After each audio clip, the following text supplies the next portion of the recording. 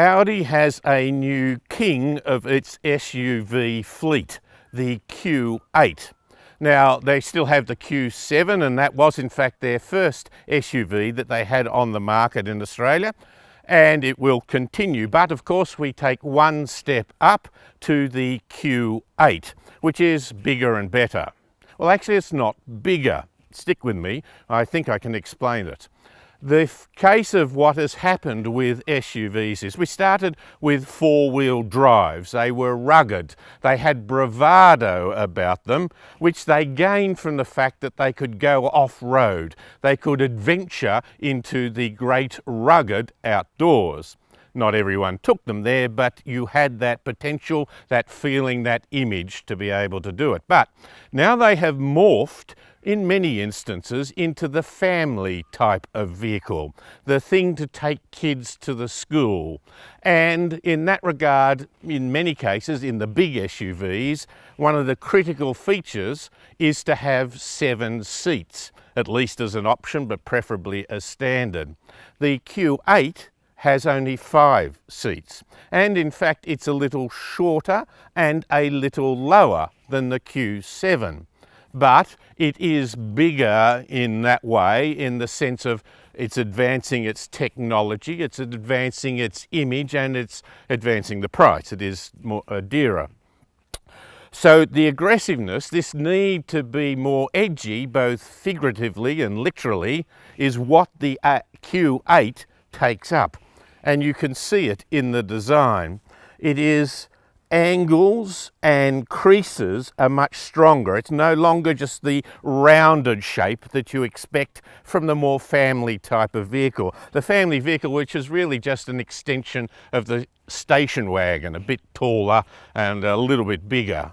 But this is not the case. And it's also got a rather sloping down front bonnet, which makes for a smaller grille compared to some. And so that removes that bull nose four-wheel drive look about it.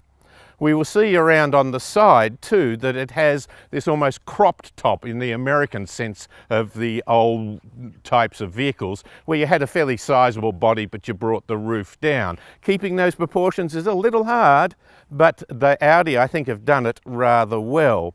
A lower roof line but of course it's wider and therein that is where it hides a tail. So here it is looking down the side more angular and we'll have some pictures from the back as well because that's where it really shows to my mind by being lower a little wider and having a certain almost a boot like a little bit of a boot like on a smooth flowing angled rear window gives you a much wider look and when you compare that to the Q7 you can see the difference. So here we are up in the highlands of Australia. We'll take it for a drive to see whether it performs not only in looks but on the road with its dynamics and its power. So in the car, it sits comfortably. The layout, I think they integrate what is a digital technology better than most the digital layouts of the screens are very comprehensive, they have great information. But equally, the screen is not like a stuck on addition it flows into the panel. Very flat panel here, which is perhaps fitting to the fact that we don't have the usual buttons that extrude out from the fascia. They are all on a screen, or certainly most of them. And then that flows into the side, which again it looks an extension. It looks like it is, as I use the word flow, more than it is just a bit here, a bit there, and let's try and add a bit of style to it. And the vents that extend, they don't go all the way as a function, but they look like they go all the way, I think is a nice balance. Now, the vehicle, as they've brought it into Australia, has only one engine at this stage. There will be a diesel later. This is a V6 3 litre petrol engine, turbocharged, and it delivers 250 kilowatts of power and 500 newton meters of torque. all at rather a high rev. Uh, the maximum is achieved around the five and a half thousand revs per minute. So like a petrol engine and a little bit less uh, like a diesel, of course, it needs to have its revs to get its full oomph. Yet, I've got to say, it's plenty it uh, performs beautifully. Now here we are on the highlands of uh, New South Wales up towards Mount Kosciuszko and you find that they are sweeping roads with long bends, somewhat narrow, and here we are going over some of the rough stuff, just getting out onto the highway. But it is a beautiful area, it, wonderful. Now, power's plenty. It's not going to be that sometimes punchy in the back, but it depends on which mode you're in. And if you have, like this car, the optional air suspension, you actually have seven modes to choose from. Most cars have three, normal, economic and sport. This adds other modes such as all-road, which is perhaps a non-sealed road and off-road. You're not going to be climbing the sides of mountains with this thing and particularly with tyres that are on 22 inch rims for this one. The base model has 21 inch rims. That's pretty big and they therefore have low profile road tyres on it.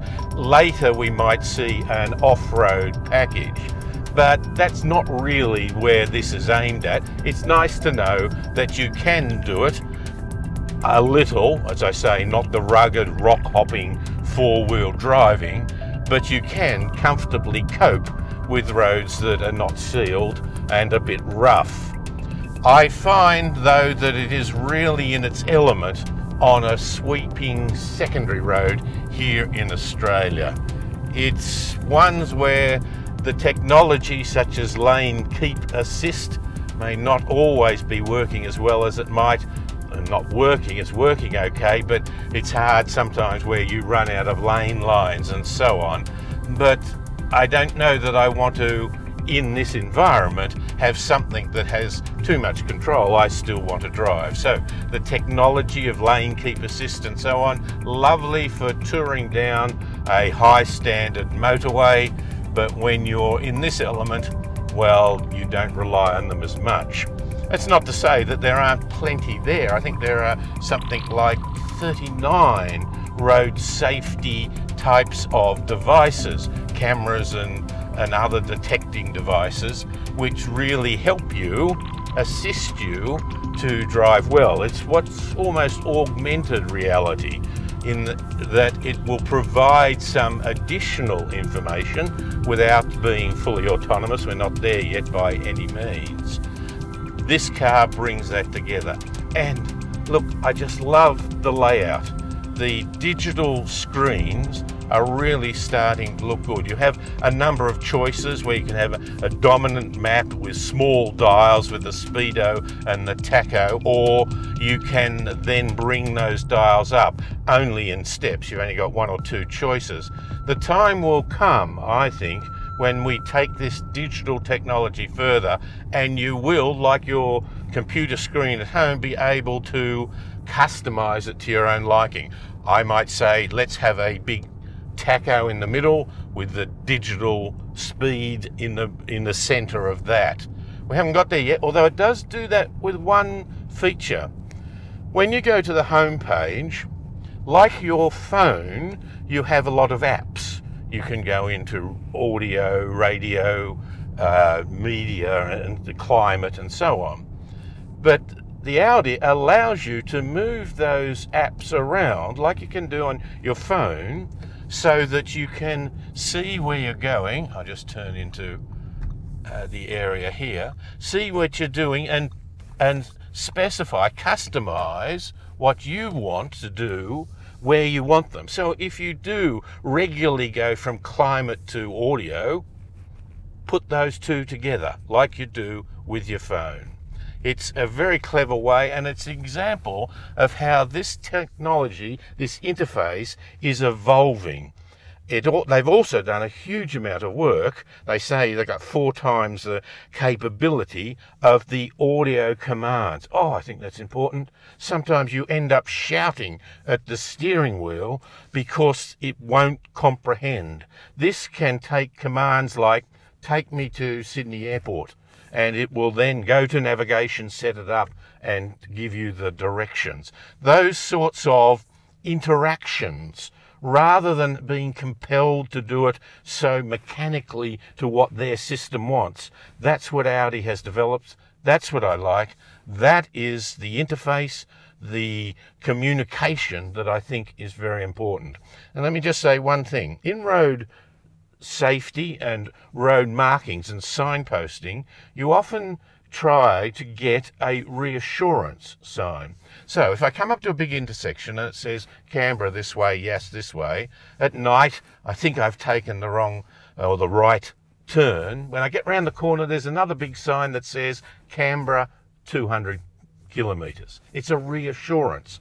These give you a little of that. You press a button that says, okay, you're going into this mode. Don't forget if it's an off road, we're adapting the stability control. That's clever because that does make a change. It's not telling you a lot about it, but it's telling you enough to know that things are different. And if you've chosen that, it's not just a case of picking something for the sake of it. It makes a difference. It's coping with it, but maybe coping a little different from what you expect. It's just a better way to do it. And this Audi Q8, I think in many ways, is simply that a better way to do it. I've got to say, I think this really comes into its own at the back by using thin lights that extend horizontally. A little bit of a lip that I mentioned in the introduction just adds that point of not being the slab-sided SUV type look. And if you have any doubt as to whether this is aimed at performance and a little bit of aggression, have a look at the size of the wheels and compare that to the Q7, the other model, and you see that this is much less the family take them to school type of vehicle. So in conclusion, clearly it performs well out on the road as you would expect from an Audi. It has clever suspension, it has a lot of choice of modes that you can drive in. But I really like Audi's interface with the driver. It's easy to work and it provides a lot of good information, reassurance type of information as well, so that if you choose one of the many options of driving style or so on, driving mode, it allows you to understand what you've got in simple terms without sort of overriding it as though you pick something and then just let it flow. So that interaction, that interface, I think is critical. Overall, the Q8 it is more expensive, it's not quite as big as the Q7 in some dimensions, it's only a five-seater, but oh, it makes the right statement.